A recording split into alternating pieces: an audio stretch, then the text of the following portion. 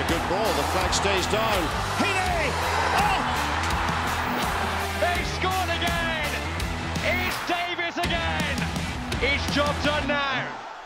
So, everyone, welcome to the latest episode of the Northern Ireland podcast. Today, we're joined by a man who has 54 caps for Northern Ireland, played in some memorable nights at the National Football Stadium at Windsor Park, and we all know he loves a good slide tackle. It's Stephen Craigan. Thank How are you. boys okay? Aye, very good, very good. Thanks for joining us um, and for giving us your time here.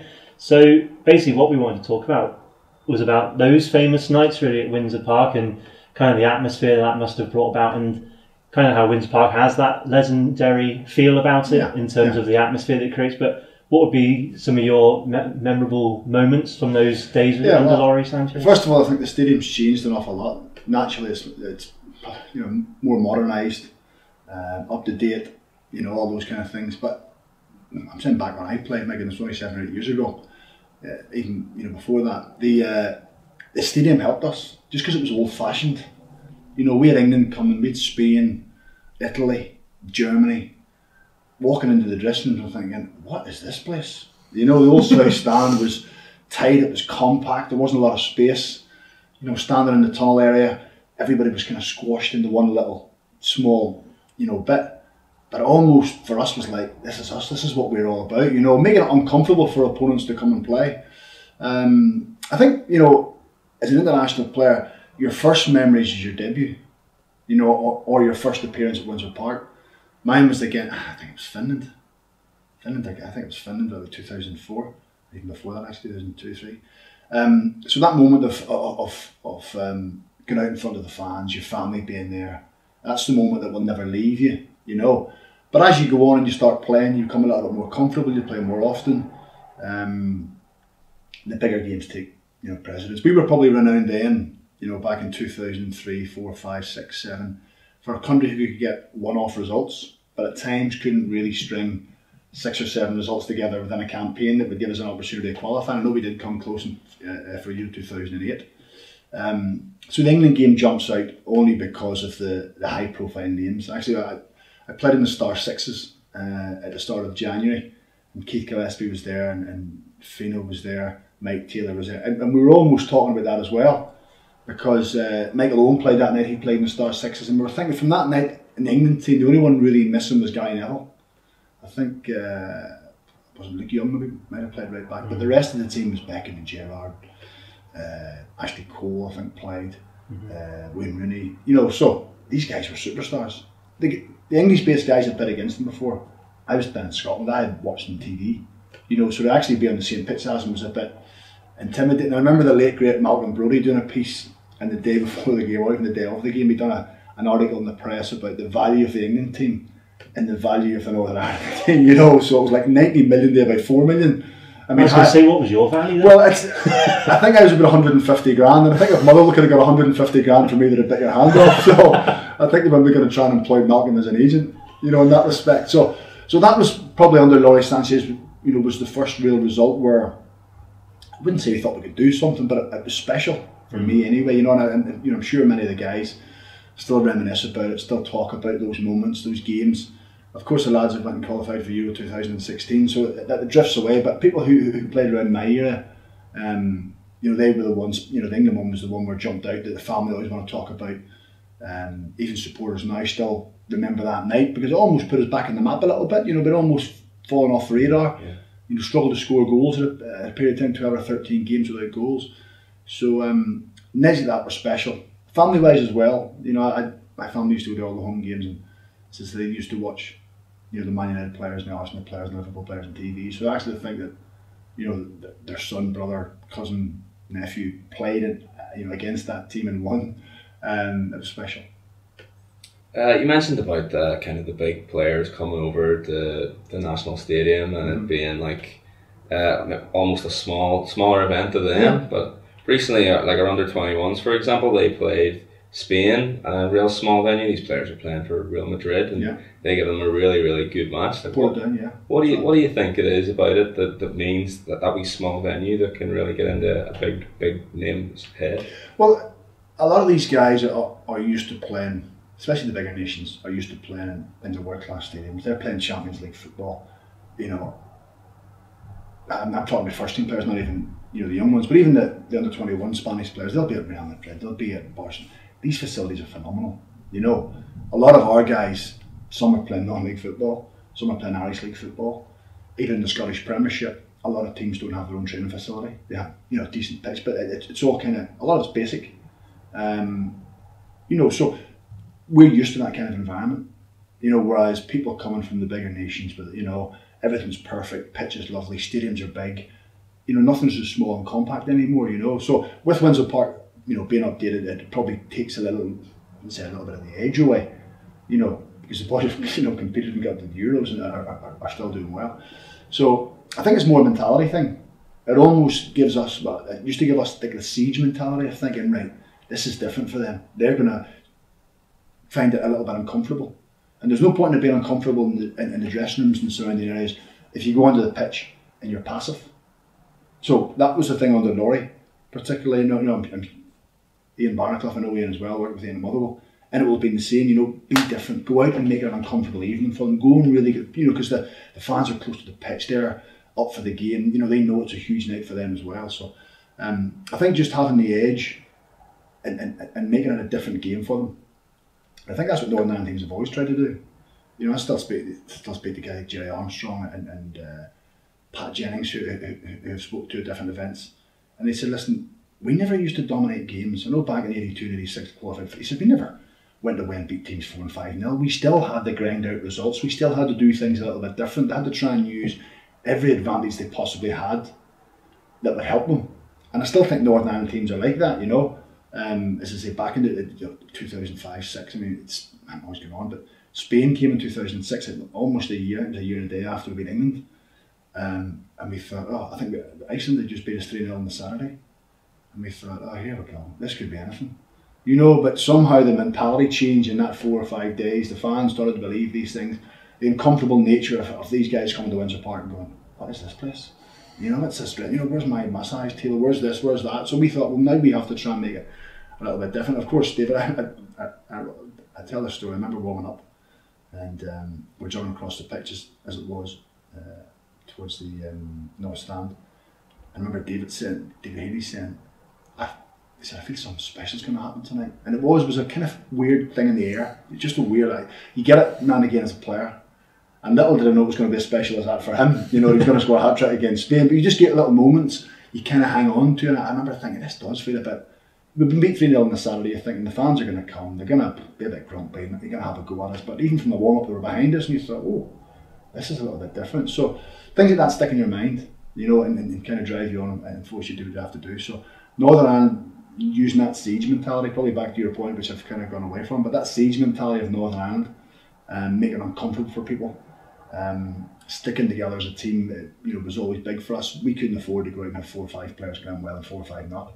We'd struggle. We needed 10, 11 guys on their game, at it, working for each other. If you get a setback, so what? You know, we're on with it. If only you could bottle those things up and use it every game as a manager, you'd be, you know, you'd be managing the biggest club in the world. So uh, I think surely the siege mentality helped us. Hi, I'm Michael O'Neill, and you're listening to the Northern Ireland podcast. So, bring it back to the Lawrie Sanchez days, as we've seemed to have called them, and those wins against England, Spain, even Sweden, Sweden, the two-one win against Sweden. Like, what what was it about those nights? Was there something beforehand that you guys, like you said, you had that kind of grit and determination mm-hmm. and that that kind of siege mentality, but was there something about Lawrie Sanchez himself or the squad or the Yeah. camaraderie you had at that time? I'll be honest, Lawrie was the first one really who came in and, and uh, I wouldn't say had a distinct plan, but, but was quite um, focused on what he was looking for. You know, he- had a plan of how to play. I know that sounds silly back then, but he kind of broke people's game down a little bit more um, about certain areas of crossing.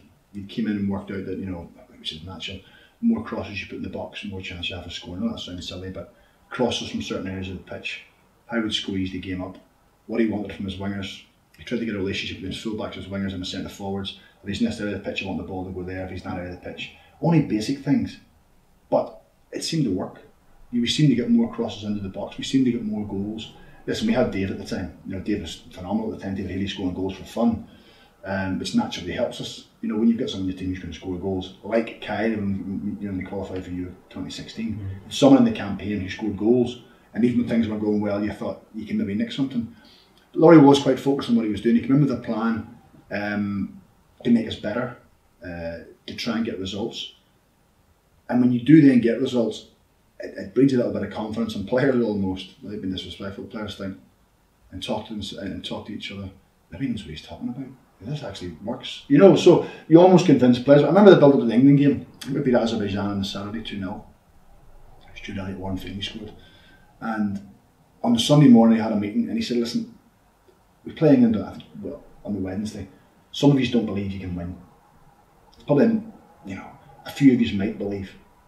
So we kind of into that kind of psychology in the Monday morning. I think a few more of you believe now, and he almost was like convincing us the game the game came closer.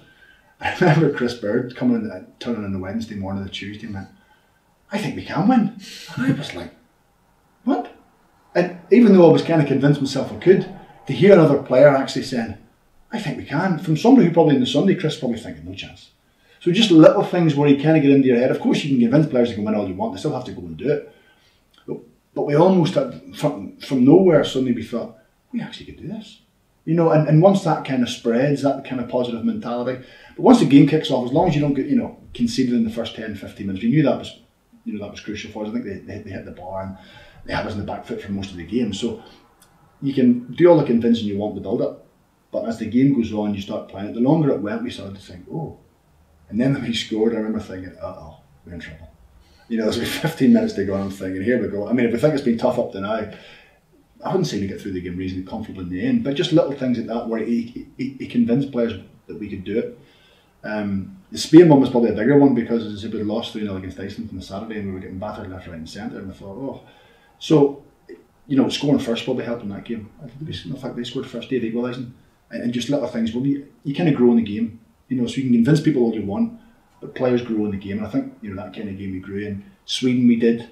Um, Ibrahimovic, Freddie Ljungberg, uh, you know, again, world class players that we're thinking, can we really? But again, you've David who scored two wonderful goals, you know, which which gives us something to hang on to, really.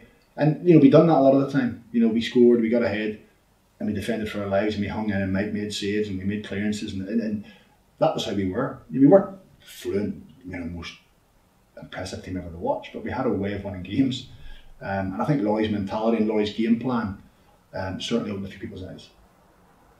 Uh, you'd mentioned there that you were in the soccer sixes. So that's right, yeah. So if you were looking at, uh, if you're maybe going for a weekend with five aside or whatever on a Friday night or something like that, who from the Lawrie Sanchez days and and including the, the current team would you would you take in your five aside team?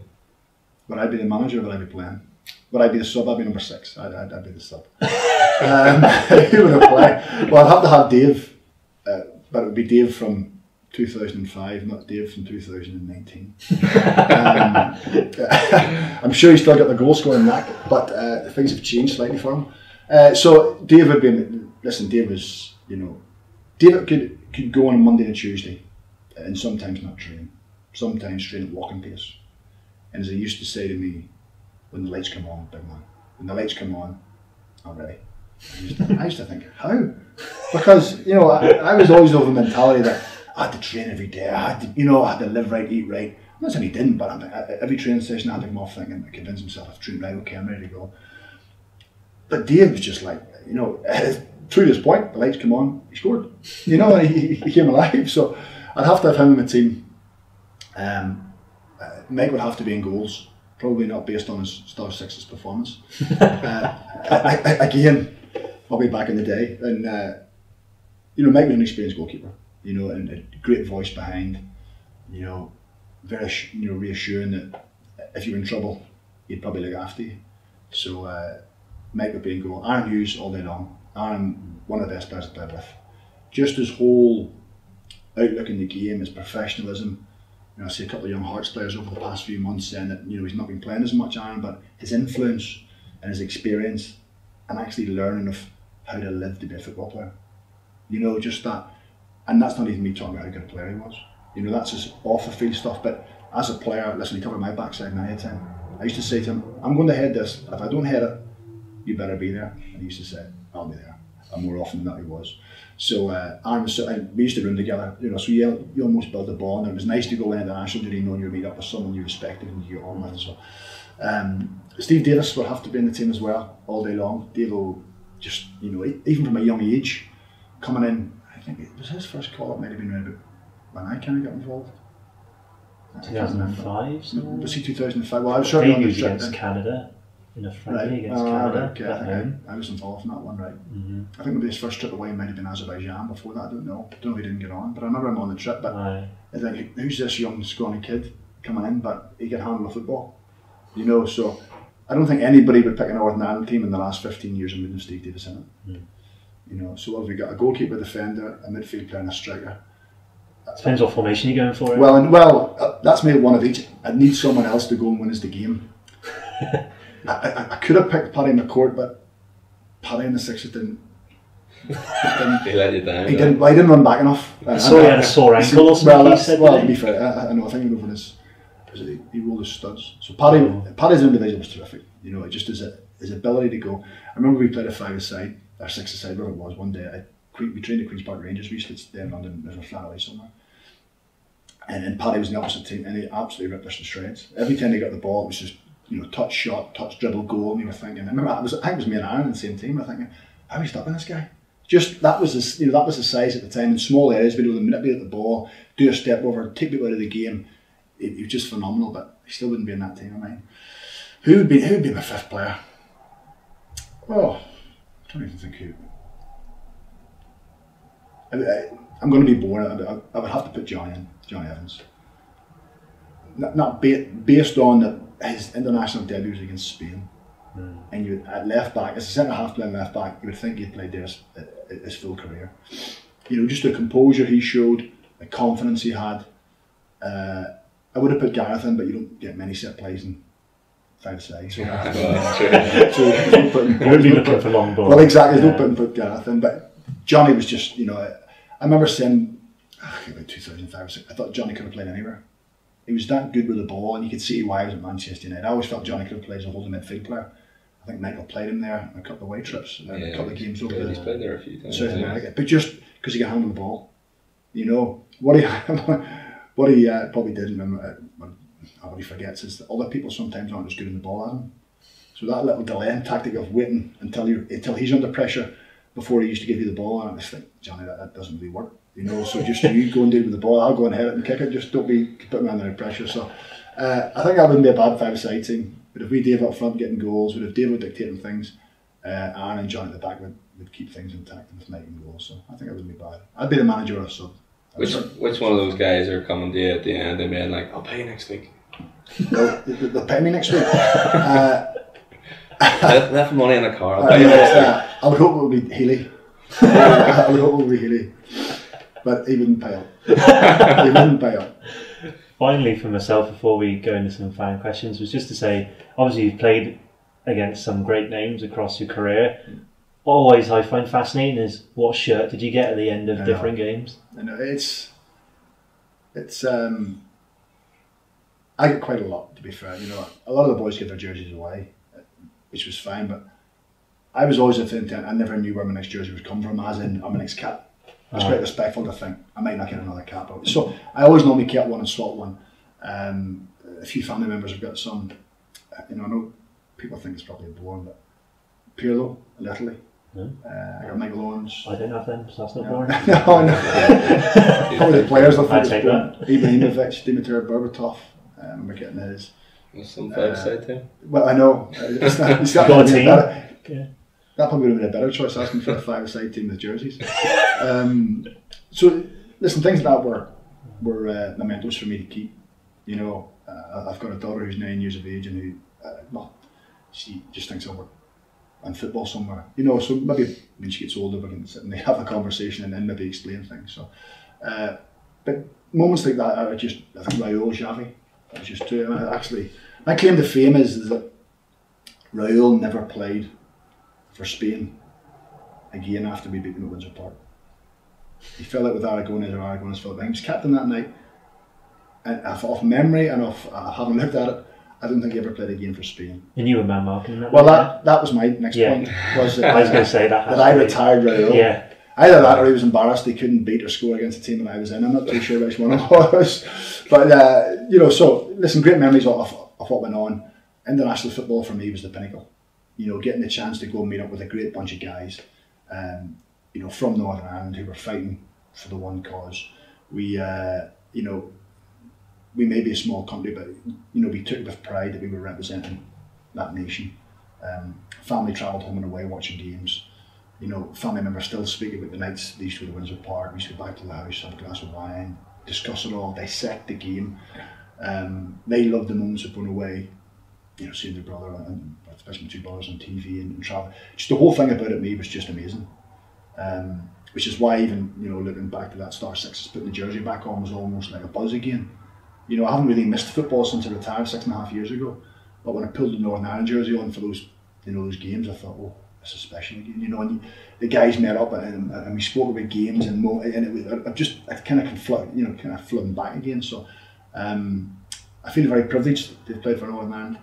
Um, I enjoyed every minute of it. Staff, players, supporters, you know, I, I hold in high regard. And it was, um, you know, to reach 50 caps for me was beyond my wildest dreams. You know, I, you hear people saying they're happy with one or two. Most people would have been, but then you get one or two, you want more naturally. But, you know, to get 50, that 50th cap in, in Slovenia when I was allowed to captain the team, uh, backs to the wall performance, got battered and won 1 0. I think Corry Evans' first Yeah, that's international right. goal. Craig Cathcart on the left hand side set it up. So uh, it just lives long in the memory. Um, and you know, the players do a whip around it and, and, and get you uh, a little you know, memento for it. It was a, some sort of bowl or something, got me some vase. But I was away, the boys all laugh because I was away, always into my fruit. I used to love my fruit, I still do. So in the morning time I had loads of fruit and I was always eating fruit. So that night I got the, you know, boys gave me the presentation, they all sat, ah, that's very nice, said a couple of words. Open it up. I thought, oh, that's going to be nice. No, no, no, no, in fact, come on, open it up. And as it opened up, the boys had filled it full of fruit. So there was bananas and grapes and oranges, and, and of course they all had a chuckle about it, which was nice. But you know, that that's the kind of mentality we had. You know, everybody was in it together. We all liked, you know, mocking each other and, and having a bit of fun. But ultimately, when the referee blew that whistle, we were all fighting for one another. So uh, amazing times. Now we're going to do and head to the Gallows. Eh? You a Top Gun fan? No, no. well, it's, but my wife is. she'll she'll be all over that then. She will.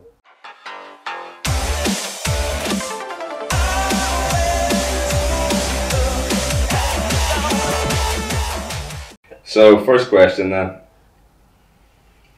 Hi, Stephen. It's Chris here. Who's the hardest player you've ever had to mark?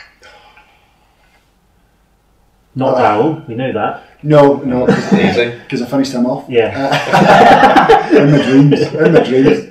We actually swapped jerseys that night, but goodness knows where mine is, but I know where his is.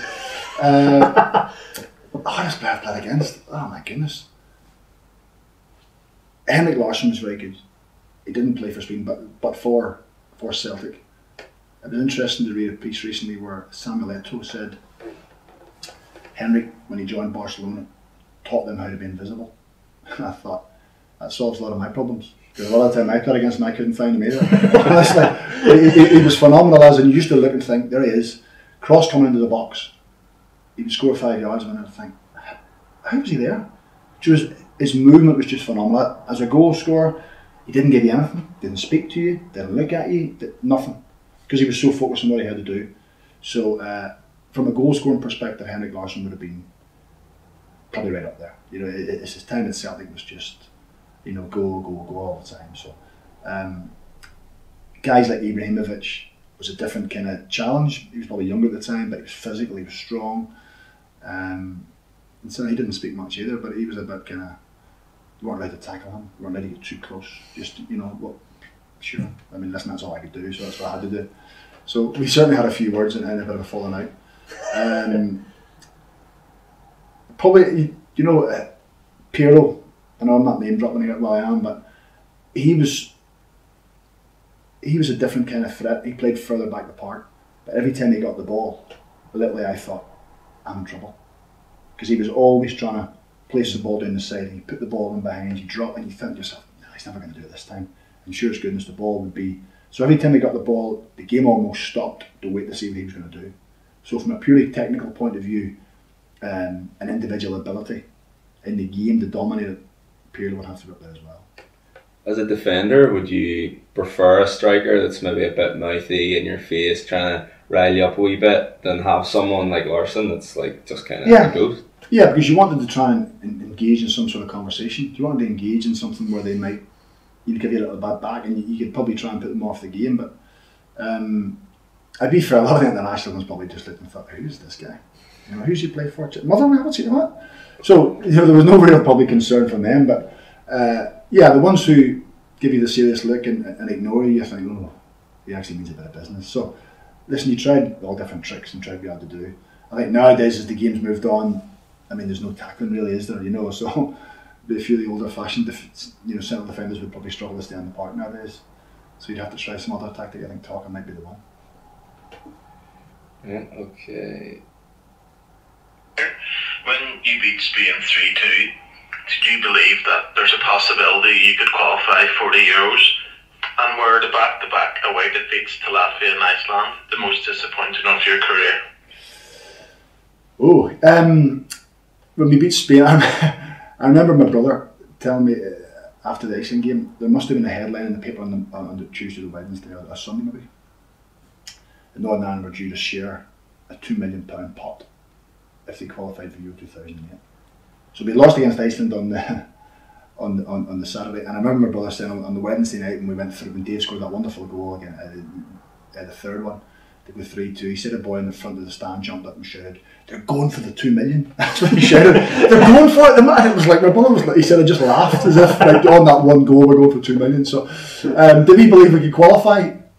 Probably not because we just lost the Iceland that beat Spain. We thought this is not right here. But if someone had said to you, take three points out of the two games, you'd probably said yes, just not on that kind of in that reflection. Uh, biggest disappointment probably not qualifying for Euro 2008. The two defeats away to Latvia and Iceland, absolutely the most disappointing of my career because I didn't play. I was left out of the two games. Um, not that I would have made any difference, or I might not have made a difference, but it still looks back. Still, a lot of people I speak to and they think Neja made a, a mistake. He, he should have played during the games. That's what managers are paid to do. Managers are paid to make the best choice of what they think. He didn't pick the team trying to get beat. He picked the team because he thought he could win. Um, we never really had a conversation about it. Uh, I think he'd done an article a few years later on one of the papers saying, you know, maybe the team selection's wrong. That's what happens. You know, managers are picked; they have to make these decisions. But you know, purely from an individual perspective, I was disappointed. I had played a lot of the games up till then. I finished the campaign after that and played played long after it. So um, it was disappointing, to say the least. That, that, that you know, because as a player, one you always think you should be playing. Every player at every level thinks you should be playing. Whether that's the case or not, who knows? But you always think you can make a difference. You always think you, you could have done something or helped the team, or you know, or, or, or got the result. Um, that lives in the past. But certainly, when you look at that campaign, that was the two games where if we could have got four points or even three points, we would have had a better chance of qualifying. So, uh, absolutely the most disappointing, two, you know, two most disappointing games of my career. I remember that being such a big, big thing, a big decision at the time when, when you were left out.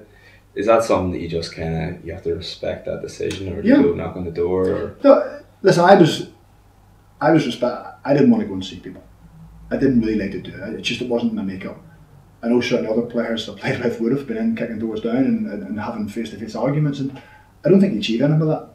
You know, um, after losing the first game, thought, well, I might have a chance at the second game, so I'll, I'll focus on training do what I have to do. So it was a big decision at the, you know, at the time because the, the team was almost set. Aaron missed those two games as well. Myself and Aaron were probably played centre defence most of the time together, and we played know, thirty odd times together. But Aaron was missing as well. Aaron was out um, through injury. Uh, he wasn't fit for the Latvia game. I think he may have said he could have been fit for Iceland, but the option wasn't taken up to bring him over. So you're almost saying losing your two central defenders, but you know you're losing a part of your team that that has been reasonably successful. So, um, but now having moved into coaching, you can understand why managers make decisions. I've, I've picked teams and left people out because you have a gut instinct, or, or you know you just have a bit better feeling for someone, or you think someone's playing better. Um, but I don't hold that against people. I mean, I've seen the engine now, we've gone off a conversation, and he may even talk about it, I don't know, but you know, that, it's not something I look back and think, you know, I really don't like him for that. At the time, you're disappointed, but you have to move on. okay, that one was from Patrick McKenna. on this one. Hi, Stevens, Neil Bassett here. Just wondering what the mood was like in the camp whenever Lawrie Sanchez left. Did you feel like all hope was lost, or did you genuinely think that you could kick on and qualify? Uh, I think it was disappointment that Lawrie left, you know, because we had done so well and, and, and um, he'd put us in a good position. We, you know, we thought we had progressed in his time in charge. Uh, I think Lawrie always had ambitions of managing at the top flight in club football. So, you know, once he had that opportunity to move on into the Premier League at the time, it's hard to turn that down, you know. Um, I imagine the finances Lawrie was involved with with regards to his wages compared to what Fulham were going to offer him would have been astronomical. Uh, no, right switch there. No.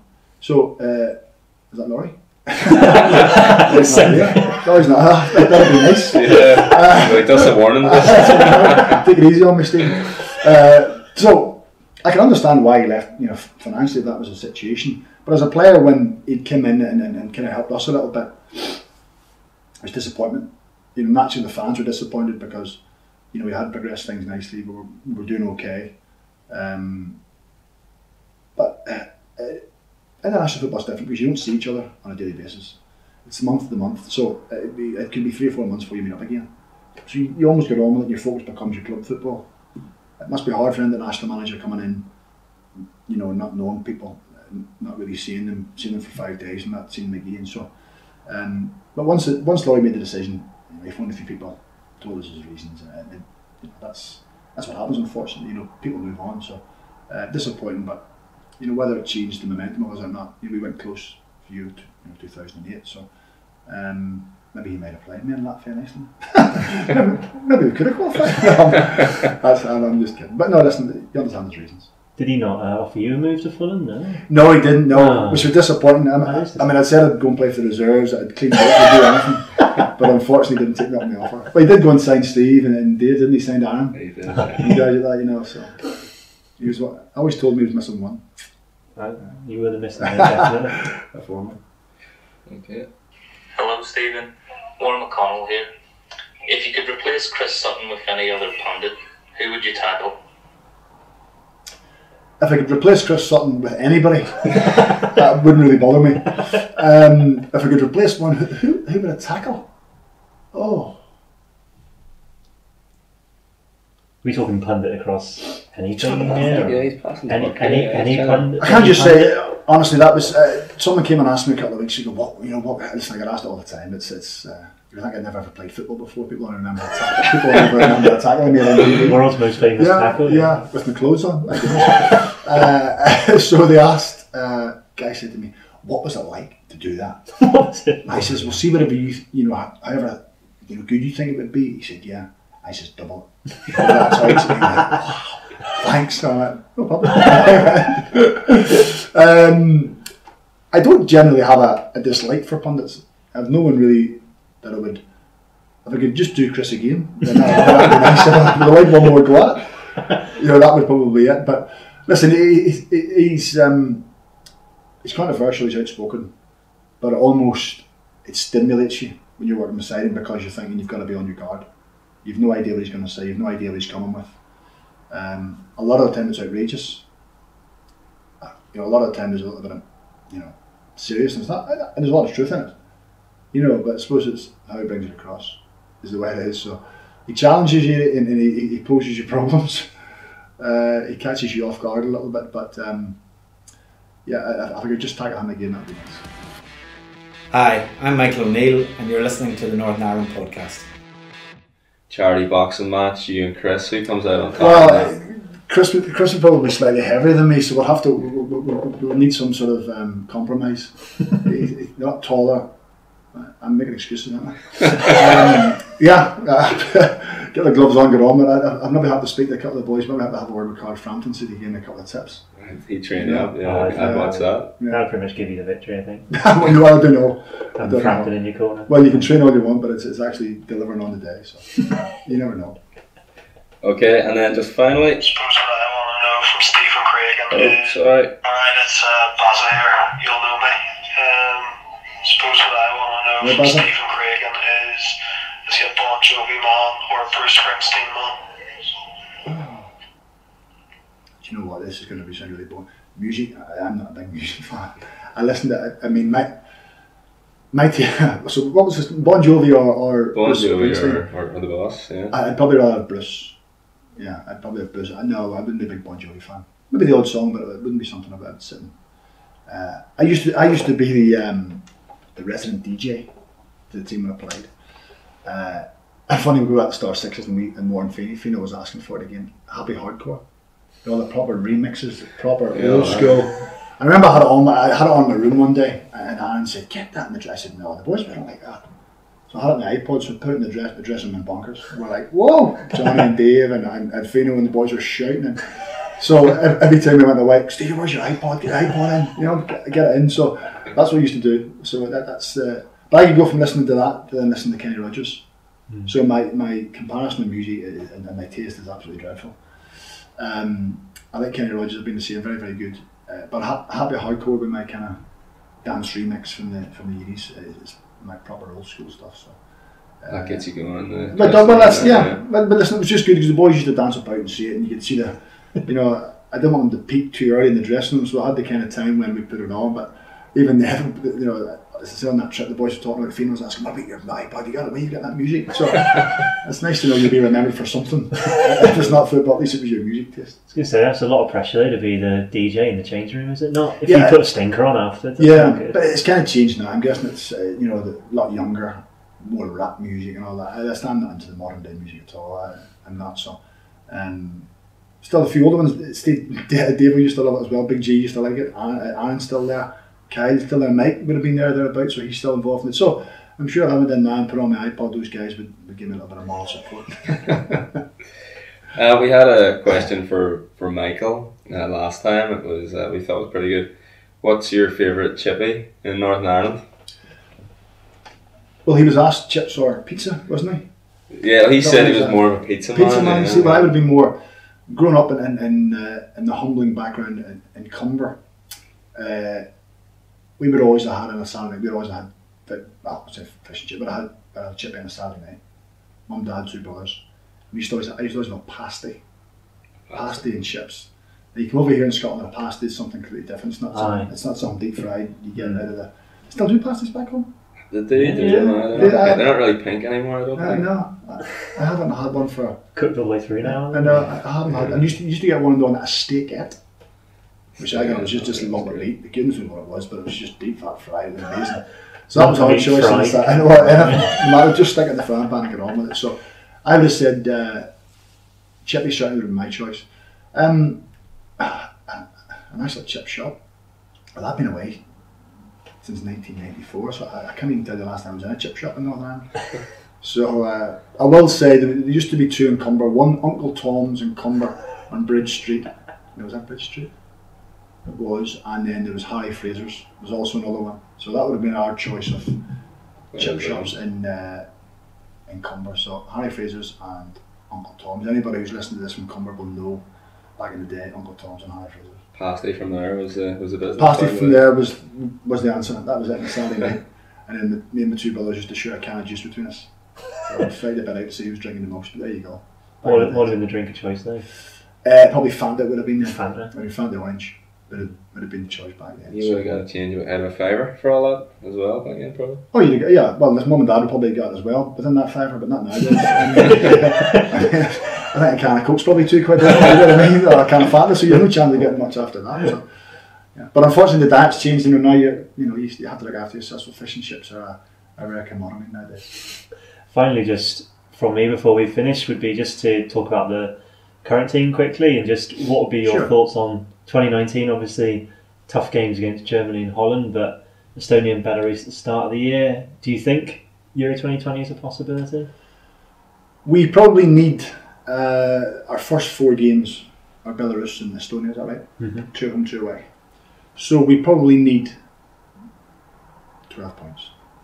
And I know it's a big ask, and it's difficult going away from Belarus. But we've been to Azerbaijan. You know, the, that's why we won. Uh, we went to Bosnia. You know, we lost, but played very well. So I, I, we need maximum points from, the, from those games. Uh, then you can look at Holland and Germany. If anything, you get a bonus you know, that may just help you a little bit. So there's no doubt it's the hardest task possible. Um, but that siege mentality, that you know togetherness that, that the Northern Ireland teams have had, we have to trust and rely that that can get us through. Um, we probably need, like we saw in the Euro 2016 qualification, uh, qualification, we need someone who's going to get a good run of goals. We need someone who can get 8, 9, 10 goals. If that's the case, then it gives you something to defend, gives you something to hang on to. So I felt the Nations League were very unlucky. I thought uh, more pleasing on the eye actually to watch mm. than we had potential in the build up to Euro 2016. I thought we knew how to win games in 2016. I think we were better, more pleasing in the eye, created more chances, more flair. So Michael has to find the balance. That's the tough bit as a manager. You're getting praised for how you played, but you haven't won games. So mm. finding the balance will be tough. Um, you know how you get your system and, and where have you right, but I know he's very meticulous on that. So uh, I'm I'm hopeful. I'm hopeful that, that, that, that if we can pick up points in the first four games, that we do have one big performance against Windsor Park. We do have enough in us to beat Holland or Germany at Windsor Park. It's not going to be free flow. It's not going to be dominating the game, but I just think that we have something that if we at least beat one of them at home, nick a draw away somewhere, it could just be our time. So uh, fingers crossed. Well, thank you for your time. Really insightful. Absolutely brilliant. Um, so, thank you for listening to today's podcast. Obviously, as we've said before, if you want to um, get involved, if you have any thoughts or opinions on guests or questions, um, you can tweet us at Northern Ireland or you can send us an email at podcast at irishfa.com. But from all of us and Stephen, just thank you for listening and speak to you soon.